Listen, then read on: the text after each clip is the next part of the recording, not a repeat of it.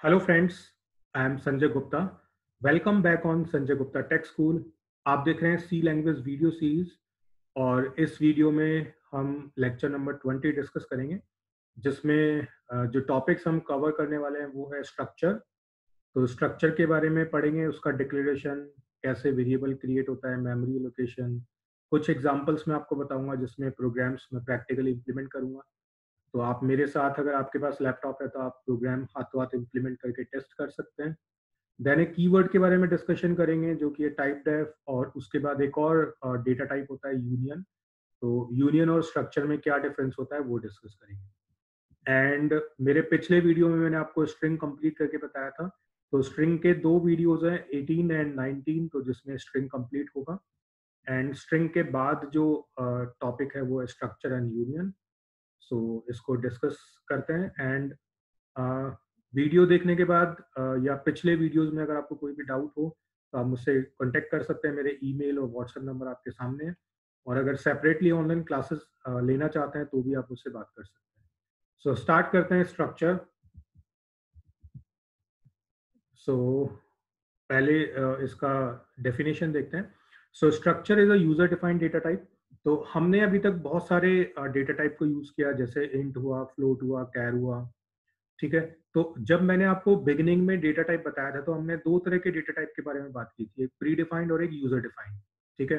तो pre defined तो हमने यूज़ कर लिए बहुत सारे इंट फ्लोट कैर के थ्रू हमने बहुत सारे वेरिएबल्स बनाए और उनको यूज़ किया। इवन हमने एरे और स्ट्रिंग भी बनाकर उनको यूज़ कर लिया। बट अब बात करते हैं कि complete user defined data type कैसे बने। ठीक है, कि हम अपनी मर्ज़ी से उसमें जो वैल्यूज़ हैं वो स्टोर कर पाए और हम चाहें कि डिफरेंट टाइप ऑफ़ वैल्यूज़ को भी स्टोर कर पाए एक साथ। तो अगर आप यहाँ पर सेकेंड पॉइंट देखेंगे सेकेंड पॉइंट अगर आप देखोगे तो इसमें लिखा है structure is use to store values of different data types under a single variable तो अगर हम एरे को रिकॉल करें एरे और स्ट्रिंग के वीडियोस आपने देखे होंगे तो उस केस में आपने देखा होगा कि जो वेरिएबल है वो सिमिलर टाइप ऑफ़ वैल्यू को ही स्टोर कर सकता है। तो अगर मैंने इंटीजर एरे बनाया तो उस एरे में सारे इंटीजर्स होंगे। अगर कैरेक्टर एरे बनाया तो उसमें सारे कैरेक्टर्स आप स्टोर कर सकते हैं।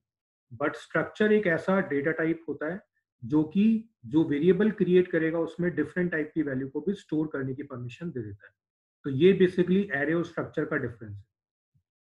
Then further it says we can create variables as well as array of structure.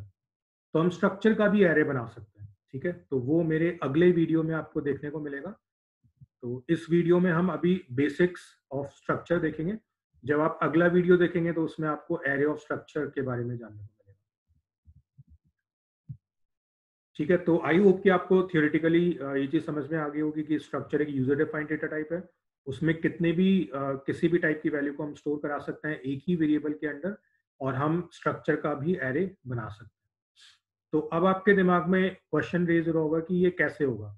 तो कैसे होगा उसके लिए सिंटेक्स भी अवेलेबल है एग्ज़ाम्पल भी अवेलेबल और इसको हम बोलते हैं डिक्लेरेशन ऑफ़ स्ट्रक्चर तो सिंटेक्स अगर हम देखें तो यहाँ पर एक कीवर्ड यूज़ किया है struct so struct is a keyword जो कि स्मॉल लेटर में लिखना है। उसके बाद स्पेस के बाद आप स्ट्रक्चर का नेम जो भी आप देना चाहें then data type variable one data type variable two and data type and variable N और ये डेटा टाइप अलग अलग हो सकते हैं। देन कर्ली ब्रेसेस को क्लोज करने के बाद आप यहाँ पर सेमिकॉलन यूज़ करेंगे। अब इसी सिंटेक्स को अगर एग्जांपल से रिलेट करें तो struct a keyword student is name of structure and तीन वेरिएबल हमने यहाँ बनाए फ़र्स्ट सेकेंड एंड थर्ड तो फ़र्स्ट है इंटीजर टाइप सेकेंड है character array and third is float type तो तीनों को हमने एक ही कर्ली बेसिस के अंदर रैप कर दिया और तीनों को स्टूडेंट स्ट्रक्चर के अंदर हमने डिफाइन किया। ठीक है?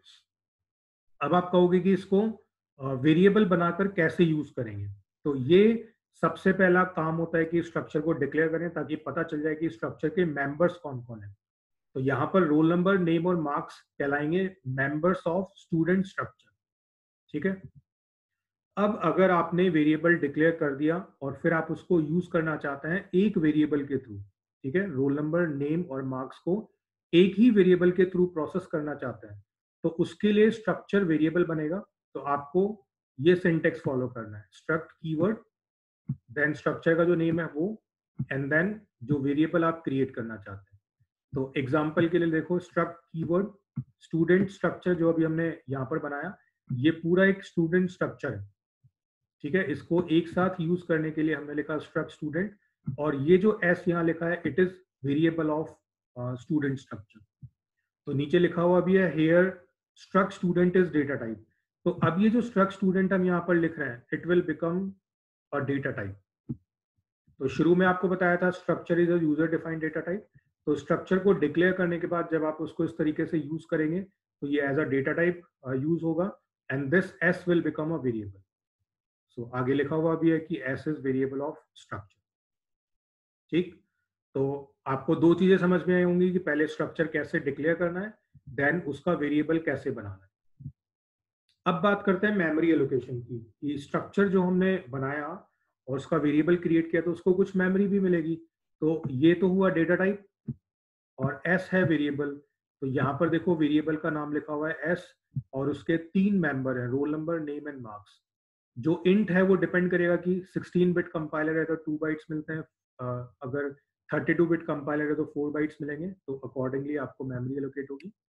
बट अगर हम 16 बिट की बात करें तो two byte for integer 10 byte for character array name and four byte for marks total कितना हुआ? 16 बाइट्स और ये किसको मिलेंगे? एस तो एस के थ्रू आप रोल नंबर भी एक्सेस कर सकते हैं नेम भी एक्सेस कर सकते हैं और मार्क्स और अगर आपको एरे का मेमोरी एलोकेशन याद हो तो वो भी कुछ इस तरीके से ही था।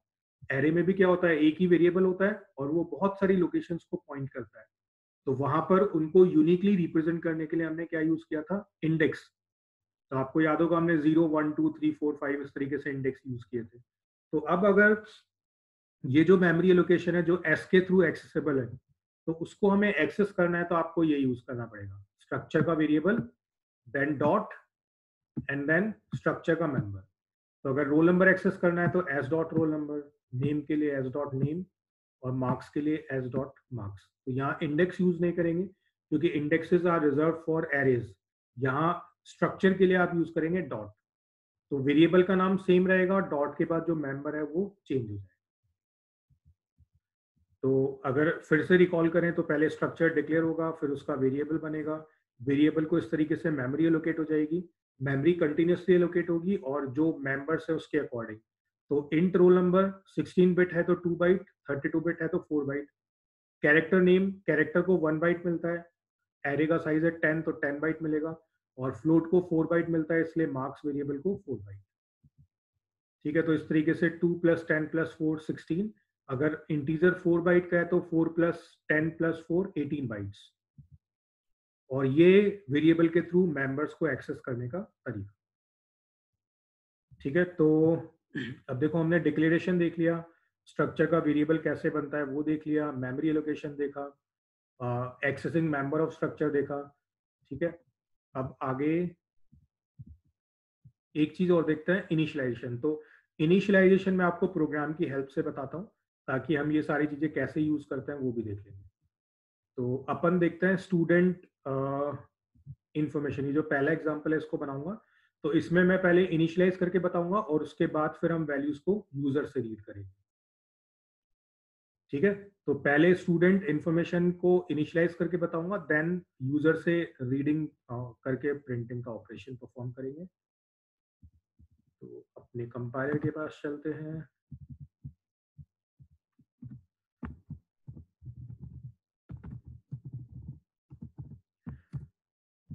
एक हेडर फ़ाइल इंक्लूड करते हैं।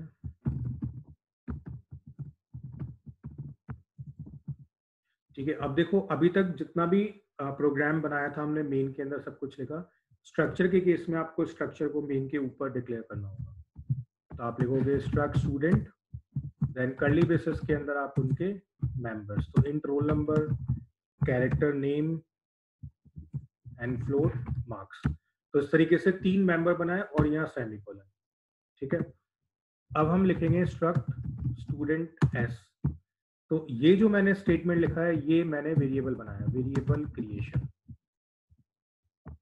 ठीक है? मैंने स्टूडेंट टाइप का एक वेरिएबल बनाया। राइट अब बात करते हैं इनिशियलाइजेशन तो इनिशियलाइजेशन का मतलब क्या होता है?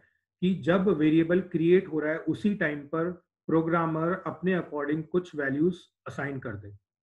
ठीक है? तो इस कमेंट को तो हटा देते हैं। यहाँ लिखते हैं इक्वल्स टू कर्ली बेसिस ठीक है? अब देखो, पहला मेंबर है रोल नंबर तो आपको कर्ली बेसिस के अंदर रोल नंबर इंटीजर डालना पड़ेगा। दूसरा है नेम तो आपको यहाँ पर डबल कोट्स में नेम लिखना पड़ेगा। और तीसरा है फ्लोट मार्क्स तो लेट से मैंने डाला 50.5 फ्लोट तो इसे बोलता है इनिशियलाइजेशन की वेरिएबल बनाया और वेरिएबल को हाथों हाथ वैल्यू भी असाइन कर दी। ठीक है? अब मैं चाहता हूँ कि इन वैल्यूज़ को स्क्रीन पर डिस्प्ले करा दू। तो उसके लिए क्या लिखोगे? Printf backslash N roll number equals to percent D अब मैंने आपको बताया था स्ट्रक्चर के मेंबर को एक्सेस करने के लिए पहले स्ट्रक्चर वेरिएबल देन डॉट और डॉट के बाद देखो, तीन मेंबर अपने आप आ गए रोल नंबर नेम और मार्क्स तो मैंने पिक किया रोल नंबर ठीक है? अब इसको कॉपी कर, या फिर वापस से लिख ही लेते हैं। Name equals to percent S S dot अब देखो नेम को पिक किया देन प्रिंट एफ़ marks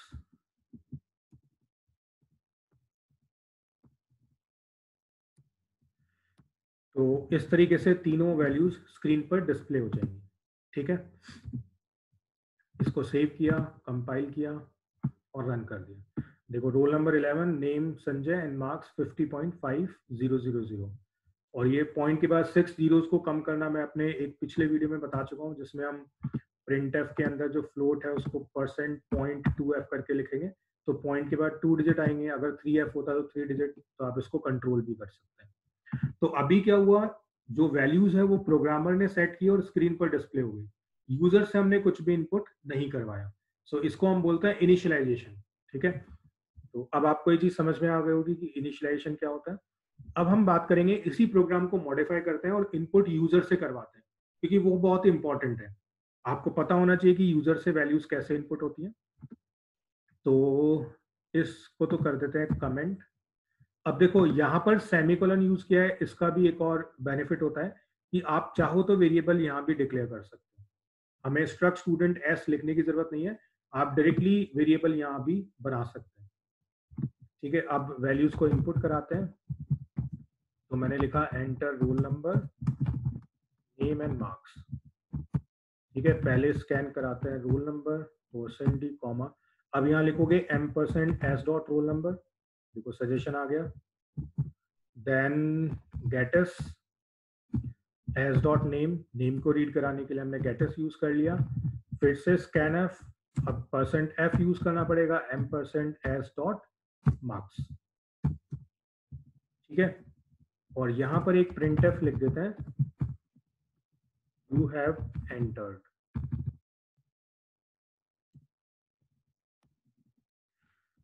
तो अब यूज़र इनपुट करेगा तो ये सारी वैल्यूज़ यूज़र से हमने इनपुट करवाई और उसके बाद वैल्यूज़ को स्क्रीन पे डिस्प्ले कर दिया। तो अब बेनिफिट क्या होगा कि जब भी प्रोग्राम रन करोगे तो आप अलग अलग वैल्यू इनपुट करा सकते हैं। जबकि इनिशियलाइजेशन में क्या था, कितनी भी बार प्रोग्राम को रन करो, हमेशा जो वैल्यू आपने यहाँ पुट कर दी, वो ही प्रिंट होगी, ठीक है? और मैंने आपको एक चीज़ और बताई कि वेरिएबल हम यहाँ पर भी डिक्लेयर कर सकते हैं और वेरिएबल को यहाँ सेमिकोलन से जस्ट पहले भी डिक्लेयर कर सकते हैं।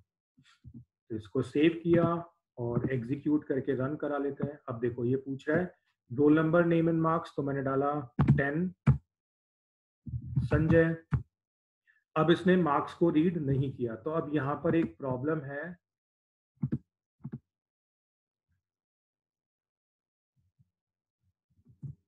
आपको एक टेम्पररी वेरिएबल बनाना पड़ेगा और गेट कैर यूज़ करना पड़ेगा।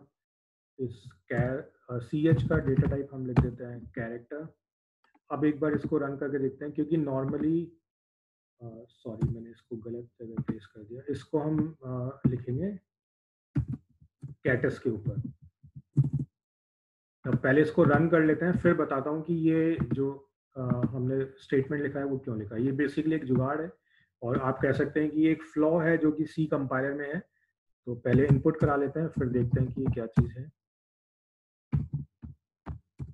देखो रोल नंबर मैंने एंटर किया था टेन नेम मैंने एंटर किया था संजय और मार्क्स मैंने एंटर किए थे थर्टी पॉइंट सिक्स तो इसने थर्टी पॉइंट सिक्स ज़ीरो अभी पॉइंट के बाद दो ही डिजिट्स हैं, क्योंकि मैंने परसेंट पॉइंट टू एफ़ लिखा था।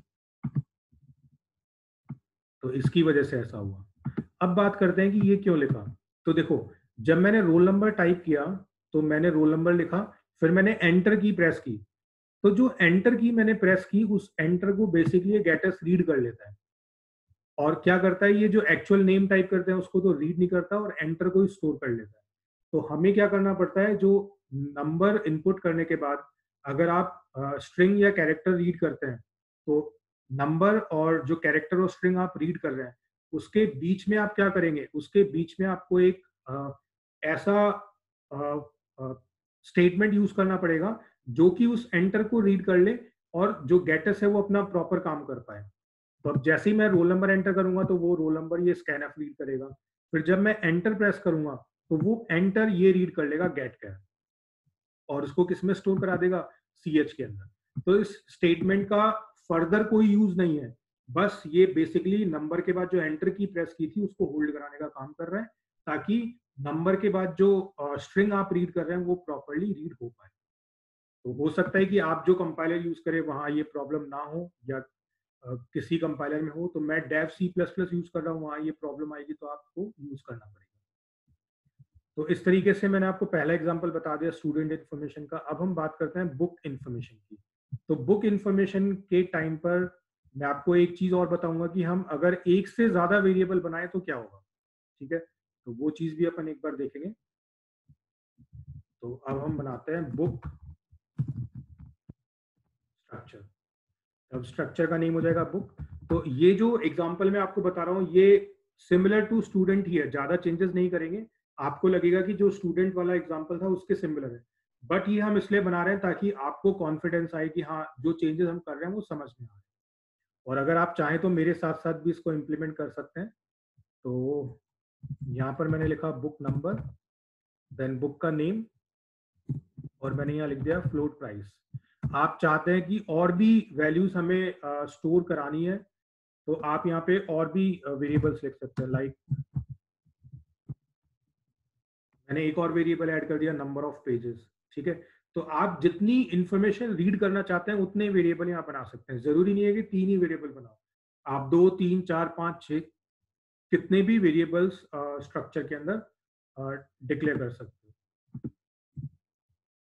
देन इसको रिमूव कर देते हैं इनिशियलाइजेशन की ज़रूरत नहीं है। हम यहाँ लिखेंगे स्ट्रक्ट बुक तो अभी मैं बी वन वेरिएबल बना रहा हूँ, फिर बाद में जो कोड लिखेंगे उसी को कॉपी पेस्ट कर देंगे और एक और नया वेरिएबल बनाएँगे बी टू देन यहाँ पर लिखते हैं enter book number name price and pages तो अब यहाँ पर आ जाएगा B one dot book number तभी आपको इजीली समझ में आ गया होगा कि बी वन वेरिएबल का नाम है। और मेंबर है बुक नंबर और डेटा टाइप इंटीजर है तो स्कैनएफ चल जाएगा। नेम रीड करना है तो ये अभी भी हमें यूज़ करना पड़ेगा ताकि एंटर को स्किप कर पाए। यहाँ एस के जगह क्या लिख देंगे? बी वन डॉट नेम फिर एक और सॉरी ये स्कैनएफ आएगा प्राइस के लिए तो यहाँ लिखेंगे बी वन डॉट प्राइस फिर एक और स्कैनएफ आएगा परसेंट डी जो क्या करेगा? B one dot number of pages के लिए।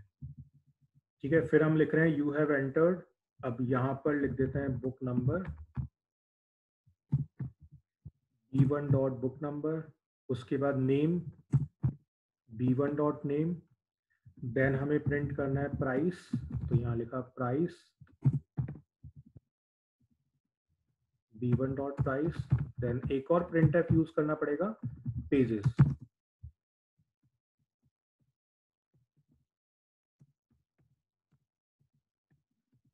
तो इस तरीके से मैंने जो स्टूडेंट स्ट्रक्चर था, उसको बुक स्ट्रक्चर में कन्वर्ट कर दिया, ठीक है?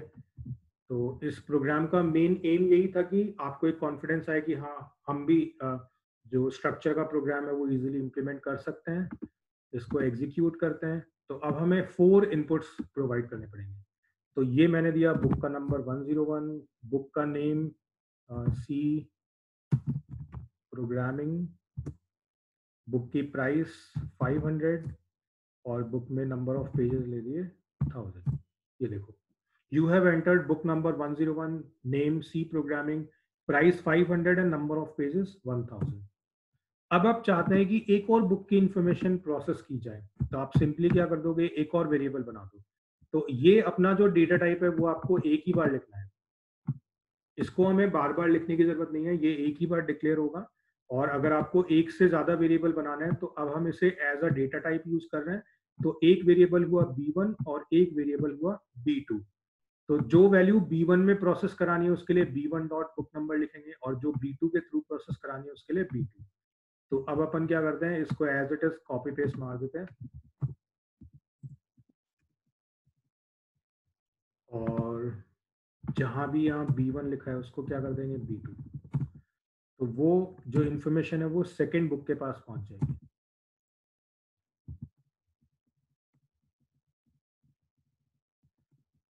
ठीक है, अब आप कहोगे कि बहुत सारी बुक्स है तो क्या करें? तो उसके लिए घबराने की ज़रूरत ही नहीं है।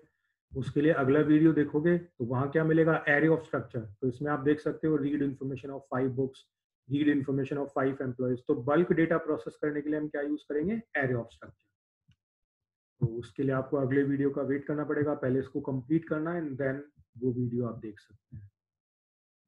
और यहाँ ऐड कर देते हैं एंटर सेकेंड बुक नंबर यहाँ पर ऐड कर देते हैं एंटर फ़र्स्ट बुक नंबर इसको सेव किया। सभी जगह चेंजेस कर दिए हैं। अब इसको एग्जीक्यूट कराते हैं। तब आपको दो बार इनपुट करना होगा और दो ही आउटपुट आएँगे। तो पहली बुक का इंफॉर्मेशन डालते हैं 101 सी 500 1000 तो ये उसकी इंफॉर्मेशन आ गई। इंफॉर्मेशन प्रिंट होने के जस्ट बाद आप देख सकते हो, एक और प्रिंट है enter second book number name price pages तो लेट से 201 सी प्लस प्लस 300 एंड 400 तो ये उसका आउटपुट तो इस तरीके से आप एक से ज़्यादा वेरिएबल बनाकर भी उनको प्रोसेस कर सकते हो। तो अब आगे चलते हैं sum of two person height तो इसमें हमें एक से ज़्यादा वेरिएबल बनाने ही पड़ेंगे तो इसीलिए मैंने आपको बुक में ऑलरेडी वो चीज़ समझा दी थी। तो अब हमें दो पर्सन की हाइट को ऐड करके रिज़ल्ट प्रिंट कराना है। तो इन सबको इरेज कर देते हैं।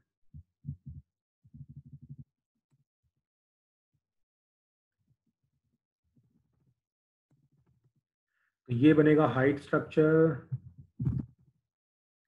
देखो हाइट में दो एंटिटीज होती हैं फीट और इंच दोनों ही इंटीजर होते हैं। जैसे मान लो, मेरी हाइट की मैं बात करूँ तो मेरी हाइट है फाइव फीट टेन इंच तो फाइव भी इंटीजर है टेन भी इंटीजर है. अब मुझे मेरी हाइट को किसी और पर्सन की हाइट से ऐड करना है तो उसकी हाइट भी फीट और इंच में होगी. तो फीट फीट से ऐड हो जाएँगे और इंचेस इंचेस से ऐड हो जाएँगे. और अगर इंचेस का एडिशन ट्वेल्व या उससे ज़्यादा है तो हम उसको फीट में भी कन्वर्ट कर सकते हैं. तो ये मैंने स्ट्रक्चर बनाया। अब हमें तीन वेरिएबल बनाने पड़ेंगे, ठीक है? फ़र्स्ट वेरिएबल में फ़र्स्ट पर्सन की हाइट आएगी सेकेंड वेरिएबल में सेकेंड पर्सन की हाइट और थर्ड के अंदर उनका सम तो आपके पास दो ऑप्शन है, आप यहाँ भी वेरिएबल बना सकते हो। ठीक है? ये भी इनफ होगा और आप चाहें तो यहाँ भी इस तरीके से लिख सकते हो। ठीक है? ये भी वैलिड है। तो इसको मैं अभी कमेंट कर रहा हूँ। तो ये कमेंट का दूसरा तरीका है, क्योंकि हम C plus plus compiler use कर रहे हैं तो उसमें ये वाला कमेंट भी चलता है जो स्लैश और एस्ट्रिस से बनता है, और अगर आप डबल स्लैश लगा देंगे तो वो उस पर्टिकुलर लाइन को कमेंट बना देते देन मुझे फ़र्स्ट पर्सन की हाइट को रीड करना है तो मैंने लिखा printf enter first person height scanf over percent d, then h1 dot feet h1 dot inch. ठीक है, इसी को कॉपी कर लेते हैं।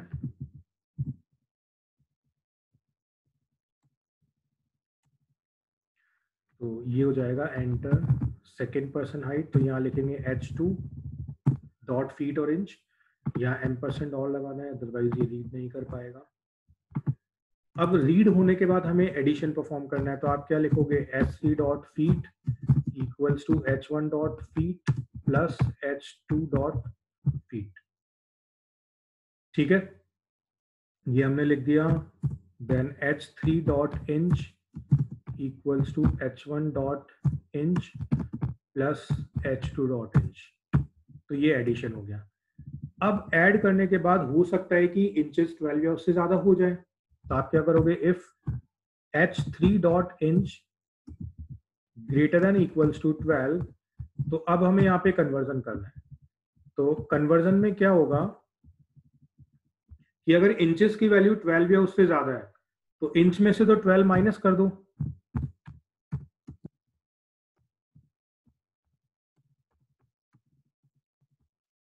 इंच में से 12 माइनस कर दो और फीट में वन ऐड कर दो। यही होता है मैथमेटिकली अगर इंच को फीट में कन्वर्ट करना है तो इंच में से 12 माइनस किया और फीट में प्लस वन कर दिया।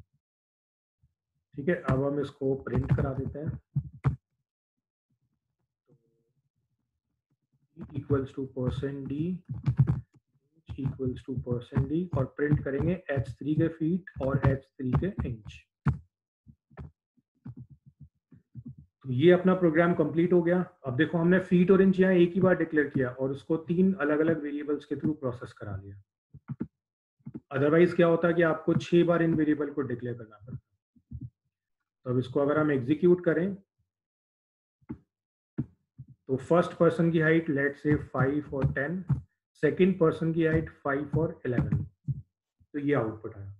तो अब इसको अगर हम ऐड करके देखें फाइव टेन फाइव इलेवन तो फीट को ऐड किया तो टेन हुआ इंचेस को ऐड किया तो ट्वेंटी वन हुआ। ट्वेंटी वन ट्वेल्व से ज़्यादा है तो ट्वेंटी वन में से ट्वेल्व माइनस कर दिया तो बचा कितना नाइन और जो फीट का addition five plus five ten था, वो हो गया इलेवन तो इंच में से ट्वेल्व माइनस किया तो फीट में कितना ऐड कर दिया? वन तो आंसर क्या आ गया? Feet eleven and inches nine तो इस तरीके से हमने दो हाइट्स को स्ट्रक्चर के थ्रू ऐड किया। तो आई होप कि आपको ये समझ में आ गया होगा। और वेरिएबल्स हमने दोनों अलग अलग जगह आपको डिक्लेयर करना बताया। यहाँ भी डिक्लेयर कर सकते हैं और मेन फ़ंक्शन के अंदर भी। अब बात करते हैं आगे टाइप डेफ कीवर्ड की। तो ये भी बहुत सिंपल है।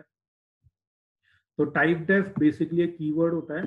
सो uh, so यहाँ लिखा हुआ है it is a keyword which defines type of a data type to an identifier new identifier becomes new data type which work similar to old one तो आपको क्या करना है? टाइप डेफ कीवर्ड यूज़ करना है डेटा टाइप यूज़ करना है और एक नया आइडेंटिफायर तो for example typedef int integer तो यहाँ लिखा है here integer is similar to int तो इंटीजर एक नया डेटा टाइप बन गया, जो किसके सिमिलर काम करेगा? इंट के सिमिलर एंड अब मैं, आप सोच रहे होंगे कि ये टाइप डेफ अभी क्यों डिस्कस कर रहे हैं? हमने पहले क्यों नहीं डिस्कस किया?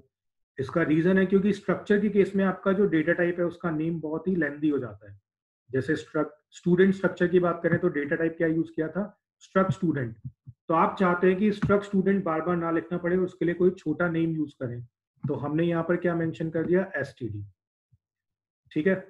तो अब आप कहोगे कि इसको प्रैक्टिकली भी इम्प्लीमेंट करके बता दो तो वो भी कर देते हैं। तो अब मैं यहाँ लिख रहा हूँ टाइप डेफ स्ट्रक्ट हाइट और मैंने लिखा एच टी तो अब मुझे स्ट्रक्ट हाइट लिखने की ज़रूरत नहीं है, मैं सीधा सीधा क्या यूज़ कर सकता हूँ? एच टी तो H T H one H two H three तो ये एक नया डेटा टाइप बन गया जो कि किसका? क्लोन है स्ट्रक्ट हाइट का। तो अब अगर इसको एग्जीक्यूट करेंगे तो ये प्रॉपरली काम करेगा। देखो, कोई एरर नहीं आई तो मैं एंटर कर रहा हूँ वन टू थ्री फोर देखो फीट है वन और थ्री तो फोर आ गया इंचेज है टू फोर तो सिक्स आ गया। तो प्रॉपरली काम कर रहा है इट मीन्स टाइप डेफ ने अपना काम किया। तो आप अपने प्रोग्राम्स के अंदर जब भी स्ट्रक्चर यूज़ करें तो टाइप डेफ को भी प्रेफर कर सकते हैं। अब बात करते हैं लास्ट पॉइंट जो कि यूनियन तो हमें यूनियन और स्ट्रक्चर का डिफरेंस देखना है। तो अगर आप ये दोनों एग्ज़ाम्पल देखेंगे तो आपको दोनों सिमिलर लगेंगे। स्ट्रक्चर भी सेम है यूनियन भी सेम है। स्ट्रक्चर uh, में भी मैंने एक वेरिएबल बना दिया एन और यूनियन में भी एक वेरिएबल बना दिया एन बट इनका जो मेमोरी लोकेशन है वो थोड़ा सा डिफरेंट है. स्ट्रक्चर में हर मेंबर को सेपरेट मेमोरी मिलती है. तो टोटल मेमोरी कितनी मिली? सेवन बाइट्स यहाँ पर एक ही ब्लॉक बना है जो कि फोर बाइट का है. टोटल मेमोरी कितनी है? फोर बाइट फोर भी क्यों? क्योंकि फ्लोट को highest amount of memory required होती है. तो फ्लोट के लिए मेमोरी मिल गई. तो ए बी सी तीनों उसी को शेयर करेंगे. ठीक है? तो आप देखो डिफरेंस क्या है? जब आपके पास लिमिटेड अमाउंट ऑफ़ मेमोरी है मेमोरी कम है, और आपको पहले से पता है कि एक बार में एक ही वेरिएबल उस मेमोरी को यूज़ करेगा तो आप क्या कर सकते हैं? मेमोरी को शेयर कर सकते हैं। बट अगर आपके पास में सफिशियंट अमाउंट ऑफ़ मेमोरी है, या फिर आपको एक ही टाइम पर सारे मेंबर्स में वैल्यू स्टोर करानी है, तब आप क्या प्रेफर करोगे? स्ट्रक्चर तो यूनियन को बहुत रेयरली यूज़ करते हैं अपन, जब आपको मेमोरी को सेव करना होता है। तो अब ये डिफरेंसेज हैं, इनको अगर आप पढ़ेंगे तो आपको ये समझ में आ जाएगा। Structure is user defined data type whereas union is also user defined data type structure allocates separate memory block to each member whereas union allocates memory to member which occupies highest memory space ठीक है? Then we can store values to each member of structure at same time structure में एक ही time पर जितने भी members हैं, सब में वैल्यू आप असाइन कर सकते हैं। जैसा कि आपने एग्जांपल्स में देखा। But in case of union we can store we can not store values to each member of union at same time क्योंकि अगर आपने ए में वैल्यू स्टोर की तो बी और सी वाली वैल्यू ओवर हो जाएँगी। बी में स्टोर किया तो ए और सी ओवर हो जाएगा। और सी में स्टोर किया तो ए और बी ओवर हो जाएगा। तो जैसा कि आपने एक रियल लाइफ एग्ज़ाम्पल से मैं इसको और रिलेट कर देता हूँ। घरों में देखा होगा कि आजकल सबके पास मोबाइल फ़ोन होता है। तो सबका अपना मोबाइल फ़ोन है, सब अपने जो भी कॉन्टेक्ट उनसे बात या चैट कर सकते हैं। तो वो है स्ट्रक्चर वो किसके से है स्ट्रक्चर कि सबको अपना अपना मोबाइल फ़ोन मिला हुआ है। बट अगर हम घर में टीवी की बात करें तो नॉर्मली घर में एक ही टीवी होता है। मतलब जैसे घर में पाँच लोग हैं तो पाँच टीवी नहीं होंगे। सब एक ही टीवी को शेयर कर लेते हैं। तो वो क्या होता है? यूनियन तो अगर घर का पहला मेंबर कोई मूवी या सीरियल देख रहा है तो बाकी मेंबर्स को भी वही देखना पड़ेगा। किसी दूसरे मेंबर ने अगर चैनल चेंज कर दिया तो पिछले वाले जो मेंबर है उसका चैनल ओवरराइड हो जाएगा और नए वाले मेंबर का चैनल प्ले हो जाएगा। तो वो एक यूनियन के कॉरेस्पॉन्डिंग तो जब आपके पास लिमिटेड रिसोर्सेज हैं मेमोरी लिमिटेड है तो आप यूनियन यूज़ करो और आपके पास सफिशियंट अमाउंट ऑफ़ मेमोरी है तो आप स्ट्रक्चर को प्रेफर कर सकते हैं। तो इस तरीके से आई होप कि आपको ये डिफरेंस भी समझ में आ गया होगा। तो मैंने अपने सारे टॉपिक्स इस वीडियो के कवर कर दिए। अगले वीडियो में मैं आपको बताऊँगा कि हम स्ट्रक्चर को एरे की फॉर्म में कैसे यूज़ करते हैं तो वो बहुत इंपॉर्टेंट है। क्योंकि अगर आप आगे जावा या सी प्लस पढ़ेंगे तो ये चीज़ें आपको काम में आएँगी। क्योंकि वहाँ पर हम सीखेंगे क्लासेस के बारे में और क्लासेस डायरेक्टली रिलेटेड है स्ट्रक्चर से। तो ये वीडियो आप ऑलरेडी देख चुके हैं, अगला वीडियो देखेंगे, तब जाकर स्ट्रक्चर कंप्लीट होगा और उसके बाद बहुत ही इंपॉर्टेंट टॉपिक आएगा पॉइंटर जो कि लेक्चर नंबर ट्वेंटी टू में है। तो सारे वीडियोस देखिए ताकि आप सी में कंफर्टेबल हो पाए क्योंकि आप बिगिनर हैं तो आपको चीज़ें डिटेल में आ, समझनी होंगी। तो मैं कोशिश कर रहा हूँ कि मैं अपने हर वीडियो में थ्योरी के साथ साथ प्रैक्टिकल इम्प्लीमेंटेशन भी आपको बताऊँ ताकि आप एग्ज़ाम के लिए अच्छे से प्रिपेयर कर पाए और आपका सी में एक अच्छा इंटरेस्ट क्रिएट हो पाए। और पूरी वीडियो सीरीज़ का जो लिंक है वो इस वीडियो के डिस्क्रिप्शन में आपको मिलेगा तो उसको फॉलो करिए। सो आई होप कि जो भी मैंने एक्सप्लेन किया आपको समझ में आया होगा। एंड आप इस पूरी वीडियो सीरीज़ को फॉलो कर रहे होंगे। Thank you for watching this video